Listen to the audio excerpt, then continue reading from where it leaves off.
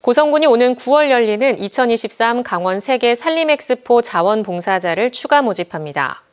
세계 인류의 미래 산림에서 찾는다라는 주제로 열리는 2023 강원 세계 산림엑스포는 하루 285명의 자원봉사단을 운영할 계획이며 관람객 안내와 주차 관리 등의 일반 분야와 행사 진행 보조, 통역 분야로 나눠 모집합니다.